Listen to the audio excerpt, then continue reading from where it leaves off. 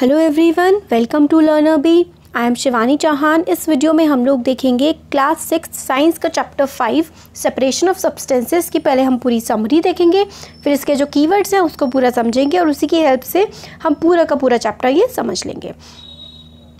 तो देखिए स्टार्टिंग में हमें समरी में दिया हुआ है, हमें बता रखा है कि मेथड ऑफ़ सेपरेशन क्या क्या होते हैं। तो आपके एग्ज़ाम में क्वेश्चन आ सकता है mention what are the methods of separation तो hand picking winnowing, sieving, sedimentation, decantation and filtration are some of the methods of separating substance from their mixture. तो हैंड पिकिंग अभी हम पूरा का पूरा समझेंगे कि ये सारे के सारे प्रोसेस क्या होते हैं शॉर्ट में बता देती हूँ मैं आपको कि हैंड पिकिंग होता है, हाथ से पिक करके चीज़ों को साफ़ कर लेना। जैसे कि चावल आपने शायद घर में साफ़ करते हुए देखा होगा कि हाथ से पिक करके चावल साफ़ किए जाते हैं, हाथ से उठा करके गंदगी को हटा दिया जाता है, कंकड़ वगैरह को। विनोइंग का मतलब होता है हवा की सहायता से अगर आप किसी चीज़ को साफ़ करते हैं तो। सीविंग होता है कि छानना।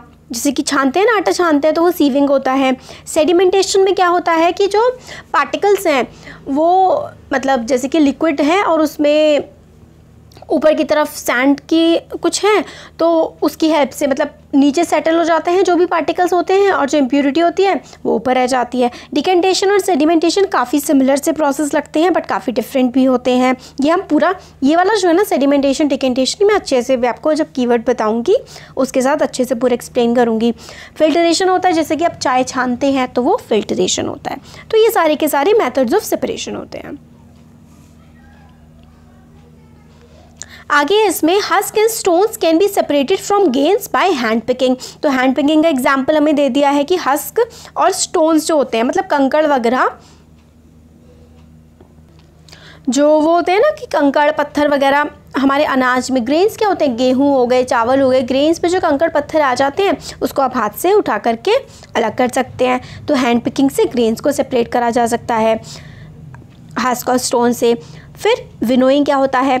Husk is separated from heavier seeds by heavier seeds of grains by winnowing तो इसमें क्या होता है कि हस्क जो है, उसको सेपरेट किया जाता है from heavier seeds of grain grain के जो सीड्स होते हैं ना, उसमें से उसके हस्क को मतलब उसकी जो कवरिंग सी होती है या फिर जो ख़राब अनाज होता है, उसको ना हवा की हेल्प से। अभी पिक्चर में मैं आपको दिखाऊँगी, जब कीवर्ड्स एक्सप्लेन करूँगी तो विनोइंग अभी बता देती हूँ। चलिए देखिए, हमें आप आपकी बुक में दिया हुआ है काफ़ी अच्छा सा कि किस तरीके से विनोइंग किया जाता है और हवा की हेल्प से साफ़ किया जाता है। ये देखिए, ये विनोइंग का एग्ज़ाम्पल है। तो देखिए, ये जो छन्नी टाइप की होती है, इसको सोप बोलते हैं इंग्लिश में। हस्क जो है, जो अनवांटेड चीज़ होती है ग्रेन के ऊपर, वो उड़ जाता है और नीचे जो ग्रेन है, वो आ जाता है। ये विनोइंग होता है। फिर आगे देखते हैं समरी में हमें क्या बताया गया है। हस्क ये वाला देख लिया हमने। Differences in size of particles in a mixture is utilized to separate them by the process of sieving and filtration तो सीविंग और फिल्टरेशन क्या क्या होता है? फिल्टरेशन जैसे कि चाय को छान देना। सीविंग होता है जैसे आप आटा छानते हैं। तो आटा को क्यों छानते हैं आप? क्योंकि उसमें वो रह जाता है ना पार्टिकल जो, क्या बोलते हैं उसको? चोकर बोलते हैं। तो उसका जो मोटा मोटा पार्टिकल होता है, उसको हमें हटा देना होता है, इसलिए हम आटे को छानते हैं, उस प्रोसेस को हम सीविंग बोलते हैं। तो difference in size of particle particle जो है, उसका जो अलग अलग साइज़ है, उसको अगर आप अलग करना है अलग अलग साइज़ की चीज़ों को आपको अलग करना है तो आप सीविंग या फिर फिल्टरेशन का सहायता ले सकते हैं। नेक्स्ट आता है इसमें in a mixture of sand and water जब सैंड मिट्टी और पानी का मिक्सचर होता है heavier sand particle settle down at the bottom and the water can be separated by decantation तो अगर आपको मिट्टी वाला पानी है, उसको अलग करना है तो देखिए आप क्या करिए, उसको एक बाल्टी में रख के छोड़ दीजिए। तो क्या होगा, मिट्टी नीचे की तरफ़ जम जाएगी और पानी ऊपर की तरफ़ आ जाएगा, फिर आप पानी निकाल सकते हैं। तो ये डिकेंटेशन हो गया। अब इसमें filtration can be use to separate component of a mixture of an insoluble solid and liquid filtration का इस्तेमाल कर सकते हैं हम लोग मिक्सचर में से सेपरेट करने के लिए इनसॉल्यूबल सॉलिड और लिक्विड को। तो इनसॉल्यूबल सॉलिड जैसे कि मान लीजिए फिल्टरेशन से आप आ, पानी में पत्थर पड़े हुए हैं छोटे छोटे कंकर पड़े हुए हैं। तो आप फ़िल्टर कर लीजिए उसको, छन्नी में छान दीजिए। तो कंकर जो है वो छन्नी पे आपके रह जाएँगे, छन्नी पे, और पानी नीचे चला जाएगा। तो फिल्टरेशन का इस्तेमाल आप ऐसे कर सकते हैं। फिर आता है इवेपोरेशन तो evaporation is the process in which liquid gets converted into vapour तो इवेपोरेशन ऐसा प्रोसेस है जिसमें जो लिक्विड है, वो वेपर में कन्वर्ट हो जाता है। एग्ज़ाम्पल के लिए पानी भाप में कन्वर्ट हो जाता है। जब आप पानी को गर्म करते हैं तो जो स्टोव पे जो पानी रखा रहता है, वो भाप बन के उड़ने लगता है। तो लिक्विड किसमें कन्वर्ट हो रहा है? वेपर में कन्वर्ट हो रहा है। तो ये जो प्रोसेस होता है, जिसमें लिक्विड वेपर में कन्वर्ट होता है, इस प्रोसेस को हम इवेपोरेशन कहते हैं। और evaporation can be use to separate a solid dissolve in a liquid तो इवेपोरेशन का इस्तेमाल आप लोग कर सकते हैं सेपरेट करने के लिए एक सॉलिड को मतलब जैसे कि लिक्विड में अगर सॉलिड डिज़ोल्व होता है ना तो उस सॉलिड को हटाने के लिए लिक्विड से आप इवेपोरेशन का इस्तेमाल कर सकते हैं। अब a saturated solution is one in which no more of that substance can be dissolve तो सेचुरेटेड सॉल्यूशन ऐसा सोल्यूशन होता है जिसमें और ज़्यादा सॉल्यूट नहीं डिज़ोल्व हो सकता। तो देखिए ऐसा होता है, आपने एक ग्लास पानी दिया। उसमें आप चीनी घोल रहे हैं। आपने टेम्परेचर नहीं बढ़ाया, आपने उस पानी को गर्म नहीं किया। नॉर्मली पानी है वो और आप उसमें चम्मच से चीनी घोल रहे हैं। आपने एक चम्मच डाली, घुल गई। दो डाली, घुल गई। मगर एक ऐसा पॉइंट आएगा कि और ज़्यादा चीनी उसमें घुल ही नहीं पाएगी। तो वो सोल्यूशन क्या हो जाएगा? एक सैचुरेटेड सोल्यूशन हो जाएगा। तो सेचुरेटेड सोल्यूशन ऐसा सोल्यूशन होता है जिसमें और ज़्यादा अमाउंट घुल ही नहीं सकता है। No more of that substance can be dissolve तो वही चीनी और पानी का जो एग्ज़ाम्पल है, उसमें अगर आप पानी में चीनी डाले जा रहे हैं, उसको घोले जा रहे हैं बट एक पॉइंट ऐसा आएगा, अगर आप टेम्परेचर नहीं बढ़ा रहे हैं, पानी ऐसे का ऐसा ही रख रहे हैं तो और चीनी उसमें नहीं घुलेगी। तो जब और चीनी नहीं घुलेगी तो जो सोल्यूशन बनेगा वो सेचूरेटेड सोल्यूशन बन जाएगा। नेक्स्ट आया है इसमें more of a substance can be dissolve in a solution by heating तो मैंने आपको बताया कि अगर आपको और डिजॉल्व करना है सब्सटेंस तो आप उसको गर्म कर लीजिए हीट कर लीजिए हीटिंग के बाद आप और सब्सटेंस उसमें डिजॉल्व कर सकते हैं।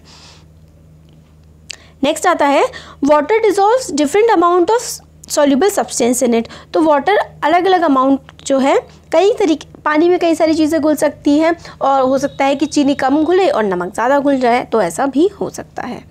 अब हम देखते हैं कीवर्ड्स कीवर्ड्स चर्निंग का मतलब होता है किसी चीज़ को चर्न करना मतलब तोड़ना छोटे टुकड़ों में. कंडेंसेशन का मतलब होता है जैसे कि कोई चीज़ भाप बन के ऊपर उड़ी. ऊपर उड़ी भाप बन के ठीक है? वो लिक्विड फॉर्म में आ गई। लिक्विड फॉर्म से सॉरी भाप बन के ऊपर उड़ती है तो वो गैशेस फॉर्म में आ जाती है। पहले वो भाप बनी, पानी था, पानी लिक्विड होता है। लिक्विड भाप बन के उड़ता है तो वो वेपर बन जाता है। वेपर एक गैशियस फॉर्म है।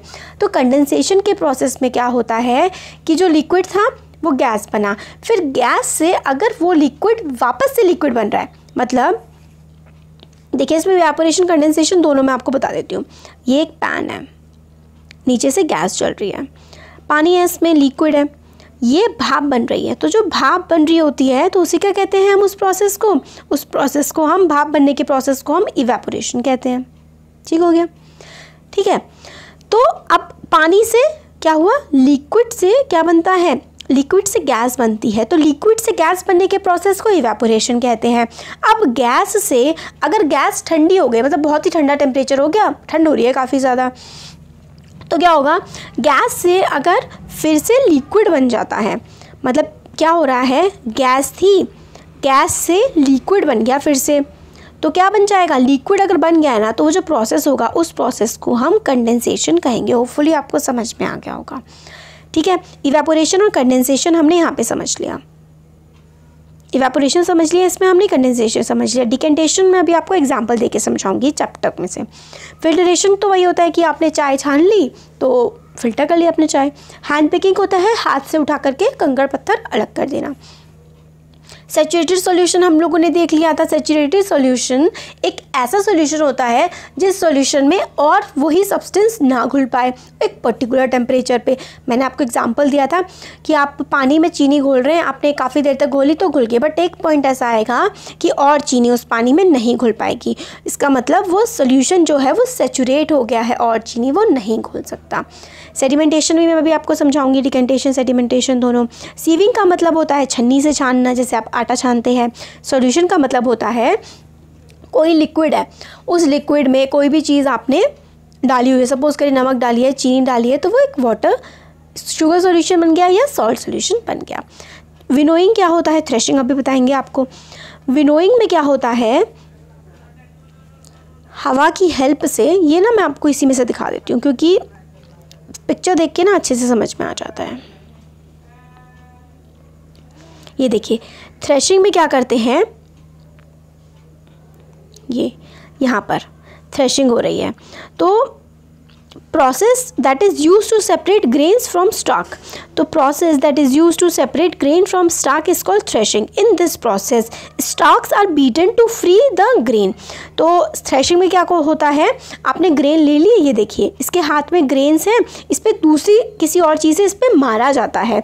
तो एक्स्ट्रा चीज़ जो है, वो अलग हो जाती है और ग्रेन नीचे गिर जाते हैं। तो the process that is use to separate grain from stalk grain को स्टॉक से अलग करना है। इस प्रोसेस को थ्रेशिंग कहते हैं।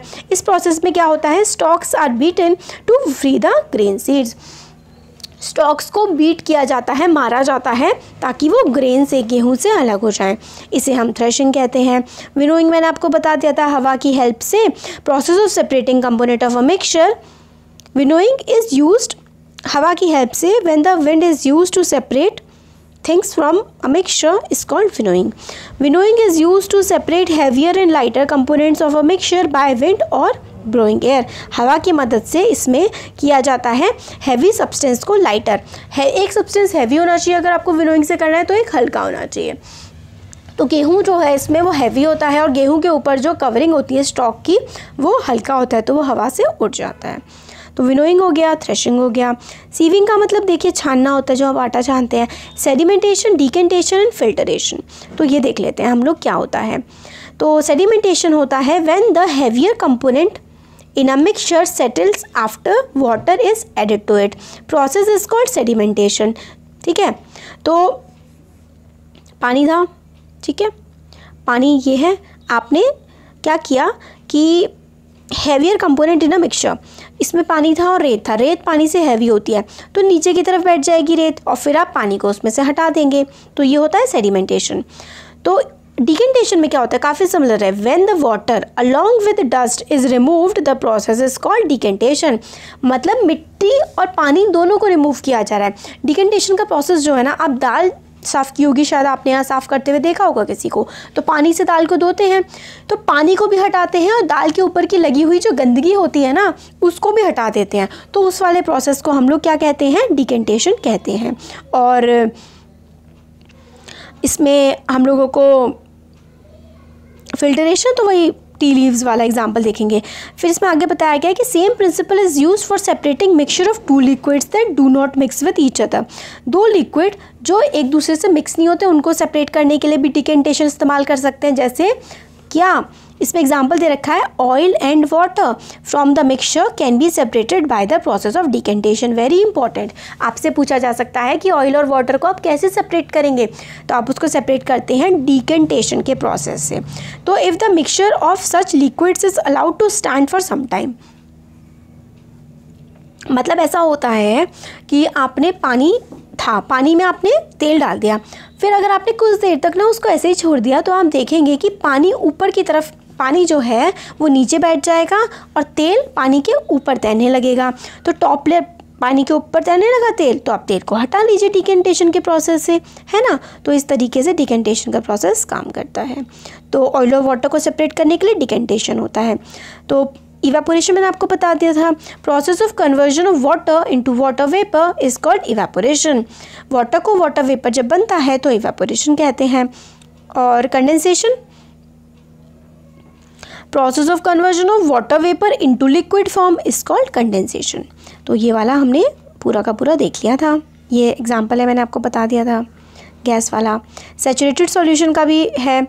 तो सेचुरेटेड सॉल्यूशन का हो जाएगा the solution in which no more substance can be dissolve is called saturated solution मैंने आपको सॉल्ट और वाटर का या फिर शुगर वाटर का एग्ज़ाम्पल दिया था। तो पूरा का पूरा हम लोगों ने चैप्टर समझ लिया है किसकी हेल्प से कीवर्ड और समरी की हेल्प से।